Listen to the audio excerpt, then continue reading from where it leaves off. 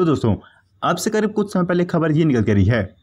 कि जो रूस है, उसने अपने S five hundred intercontinental ballistic missile defence system का एक पूरा एक्टिव वीडियो जारी किया है। और जो आप लोग स्क्रीन पर फुटेज देख रहे हो, ये फुटेज रूस द्वारा रिलीज़ की गई, रूस के intercontinental ballistic missile defence system यानी एस फाइव हंड्रेड की वो फुटेज है, जिसमें कि ये S five hundred missile defence system पूर्ण रूप से ऑपरेशनल दिख रहा है।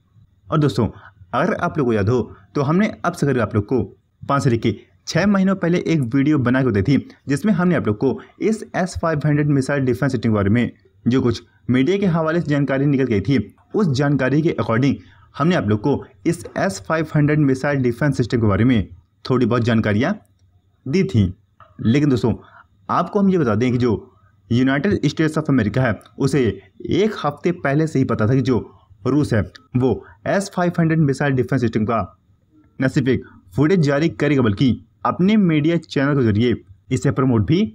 करवाएगा। इसलिए जो अमेरिका उसने अब से करीब तीन से लेकर चार दिनों पहले अपने पेट्रोटॉट मिसाइल डिफेंस सिस्टम को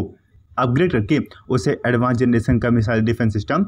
बताया था। लेकिन अब रूस के इस S five hundred missile defence system को लेकर मार्केट में चर्चा शुरू हो गई है कि जो ये S five hundred missile defence system है। ये तो अंतरिक्ष के सैटेलाइट और जो इंटर कॉन्टिनेंटल बैलिस्टिक मिसाइल हैं, उन्हें तो ये मार के तो गिरा सकता है लेकिन लेकिन जो भविष्य के होने वाले पांचवी पीढ़ी के स्टेल्थ लड़ाकू मन और जो पांचवी पीढ़ी के बॉम्बर और पांचवी पीढ़ी के ड्रोन्स होंगे, जो कि पूर्ण रूप से स्टेल्थ टेक्नोलॉजी से लैस होते हैं। क्या रूस का ये S five hundred missile defence system दुनिया के स्टेल्थ लड़ाकू मन को मार के गिरा पाएगा या नहीं इस पर अब मार्केट में पूर्ण रूप से चर्चा शुरू हो गई है। और आपको बता दें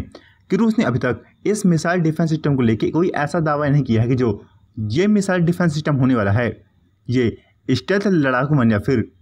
किसी एंटी रेडिएशन मिसाइल को मार गिरा पाता है या नहीं, और उसका इस मिसाइल डिफेंस सिस्टम को एक्सपोर्ट करने का कोई प्लान है या फिर नहीं।